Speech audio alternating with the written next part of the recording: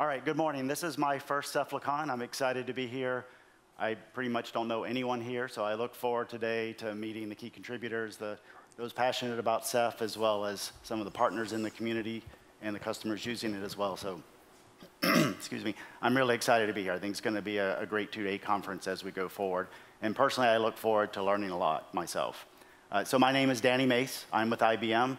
I lead the engineering team for IBM's storage software business. So our software-defined storage capabilities, our data protection capabilities, hybrid cloud, and I'm happy to say the Ceph team from Red Hat has joined it with IBM uh, to build an even stronger software-defined storage team. So I want to get the IBM sort of focus uh, right away, and I'm going to cover that in just a few minutes, but first let me let uh, Kyle introduce himself, not Josh. so I told you I'm learning Kyle, everyone's name. Not Josh. Um, so I, I, I, came over from, um, from Red Hat, joined uh, IBM as part of the transition at the beginning of the year, and then you know dating back a while back, originally from, from the Inktank uh, group. But yeah, I'm a principal portfolio architect for Ceph offerings at IBM. Okay, all right, great. And today we're going to cover where we see IBM's contributions going, where we see the community uh, capabilities to expand on, and maybe share a little bit about what's, what's IBM's hopes and dreams for Ceph now that we've transitioned this into IBM. So first, let me talk about why, excuse me, why we moved uh, the storage business from Red Hat into the storage business from IBM. And I was the lead on this for the IBM side, so maybe the best way to do it is talk about the journey rather than just get right to the uh, sort of the bottom line around it. Uh, but first, IBM is in the storage business. We have both hardware, so, sorry, excuse me. We have both hardware and software in our portfolio, and we're working hard to grow our software-defined storage business in IBM. We've continued to invest in this space and make it a bigger portion of our, our long-term success in the IBM portfolio. As we started looking ar around where storage is going, we're focused certainly on software-defined storage. We see that as the future. That's also here today, as we'll talk about. And as IBM, we're one of the leaders in, in, in the world around Kubernetes. You might not know this, but IBM is the world's largest Kubernetes software vendor. When we acquired Red Hat three years ago, we doubled the size of the OpenShift catalog just by bringing the IBM software on top of it. So IBM obviously is very focused on hybrid cloud, what you can do with OpenShift and Kubernetes around it, and we built out those capabilities. As we started collaborating more with the Red Hat team, they were also building some great capabilities for storage based on Ceph and, and for Kubernetes. And we started partnering with them, realizing that we want to work together more closely over time. And we started in interacting with the business team at Red Hat, saying, should we do more together? And Brent Compton, I'm not sure where you are here in the room, there in the back. Uh, we reached out as the business leader in the storage business in Red Hat, and we started talking about could we do even more together with IBM and Red Hat than we currently are. And uh, Brent, being a, a, great business leader for the storage business in Red Hat, recognized that not only can we do great work in the container space, but we have an untapped resource potentially with Ceph that we could really expand and grow. And Red Hat has a very laser focus on their business. They are a hybrid cloud platform team with RHEL, OpenStack, and OpenShift. And they were really focusing the contributions in Ceph around ODF and using that in a container environment. And they were becoming a little less interested in going after the broader storage market. In IBM, we have a dedicated storage business with thousands of sellers sell, selling storage across uh, the enterprises across the world.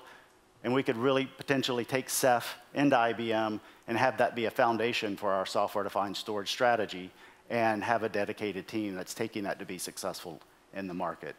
So we both agreed that this was a great thing for IBM as a whole, it was a great thing for Red Hat, and we think it's a great thing for Ceph and ODF and the other associated open source projects in the storage business. So on January 1st, we moved the engineers from Red Hat and IBM, and they joined the broader IBM organization. And I'll tell you a little bit more about that as we go forward about now what changes might you expect from, from this. So first, we really think we can unlock Ceph and IBM. It was a, I believe it's a great resource, a great set of capabilities that have been built out over the last 15 years. We can build container storage around it. We can go after new use cases of, of a converged file block and object system. And Kyle will take you through a little bit more details of our initial thoughts of where we see our contributions in Ceph going, going forward.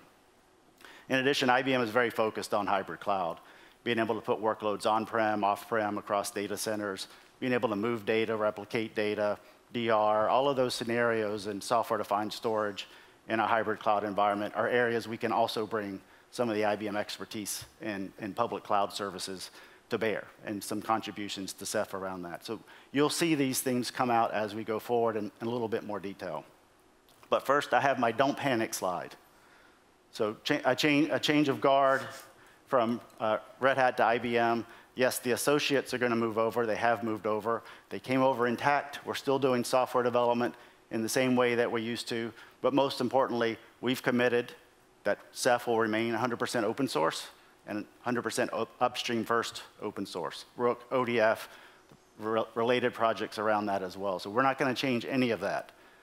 If you're familiar with IBM, we were a leader in the open source industry. We helped make Linux the success it is today by donating technology to that and its inception and the patents around that. We've been working in, in, communities like Eclipse Foundation that we founded 15 years ago as well for being the development tool space. And then as Java has become a more and more open source focused, that also lives in the Eclipse org today around that. And IBM is the, one of the primary contributors, along with Red Hat, to the open source Java environment. And as we've expanded into AI, a lot of our AI development tools and runtimes are built on open source, but also contributions from IBM around that. So IBM has a very vibrant and long history in open source, and we, we, we are committed that Ceph will be a part of that open source family in, in IBM for, for as long as that, that we see the future of Ceph, which is forever. So don't panic. Nothing's changing. The team came over. They're still doing what they're doing. And, but we feel like a little bit of a kid in a candy store in my American slang, where we've got this great technology, and now what can we do with it to take it to the next level? And so we're going to talk about that in just, just a minute uh, as we go forward. Now, we're not new to Ceph either. IBM's been investing in Ceph over the last three years, and we made numerous contributions to that. A lot of this work was done in IBM Research and some of the other storage uh, parts of IBM. So we're not new to contributing to Ceph, and now we're just going to expand our contributions as we go forward. And then if we stop and we look at the, the state of Ceph overall from my perspective, it's got a long 15-year history. There's been major capabilities added over the last 15 years. We have a very vibrant community. It's great to see everyone here. It's great to have a chance to get everyone together and increase, increase that, that collaboration that we have to make open source even stronger. And that you can see, where are the charts over here? We've got a good, a good set of contributors, not just IBM and not, not just the former Red Hat team, but across other industries as well, which is great to see that, that level of contribution to keep Ceph vibrant and growing overall. Now, as we get on to the, what's off to the right of this chart, where's it going to go next? I'll ask Kyle to take over from here and give some of our initial thoughts of where we see the value of the IBM contributions in the Ceph community. So, a few years ago, well, many years ago, there was originally just CephFS, right? So you had a Rados cluster, and you know, if you wanted block devices, you put them on the file system.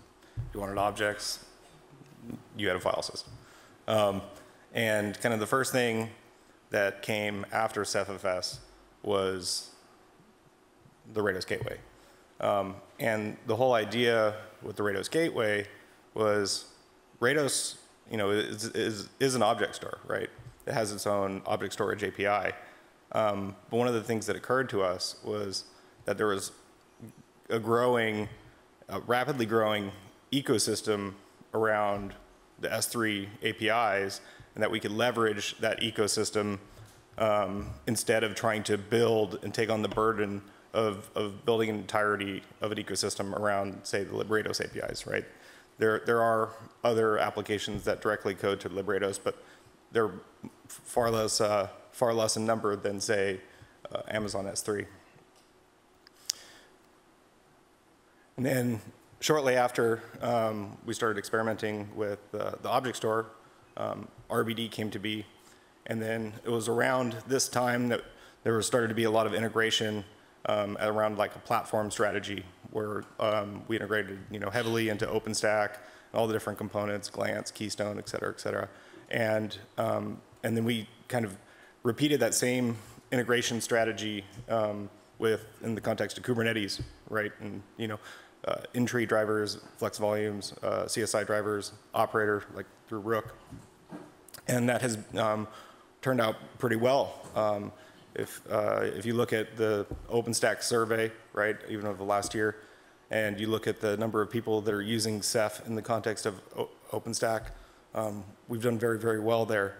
Um, if you look in uh, for OpenShift, there was a recent uh, evaluator group report that ODF, um, which is you know basically Ceph uh, for for OpenShift, um, is is the number one storage offering, and so we you know we're doing very well in the context of you know OpenShift and Kubernetes, um, but we always wanted we always wanted more, and so that was that was kind of one of the interesting things about coming over to IBM, where they have lots of storage sellers. We wanted you know, if I go back or, you know, reflect over 10 years ago, we, we wanted to be the, the, the future of, which, the future of storage. We wanted to be the Linux of storage.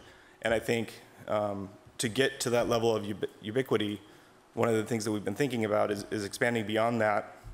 And I think part of that is, is, is being able to tap into broader ecosystems and not having to have, you know, the, the, the- the burden of, of building um, ecosystems necessarily around, you know, native clients. Native clients are great and useful and, and, and optimized for performance, but when you want to, when you want to expand and get into new, new areas, I, I think they're really important.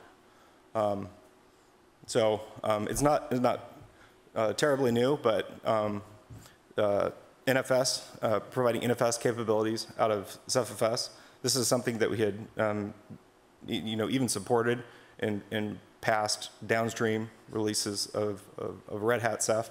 But we really want to put a, a renewed emphasis on, on and making NFS better um, uh, and as, as a protocol dialect to interact with CephFS file systems.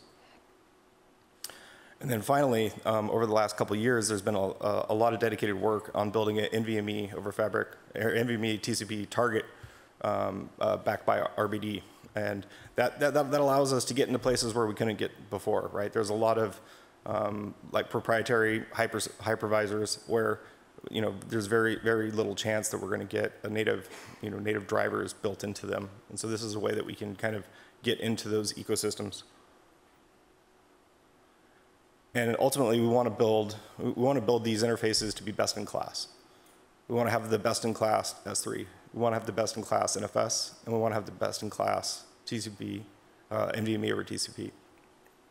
And what we think what this will help us do is it'll help us be able to go after the primary storage market, be be able to go after with a converged offering where you can get block, file, and object from, from a single system and, and have it be best in class. Thanks.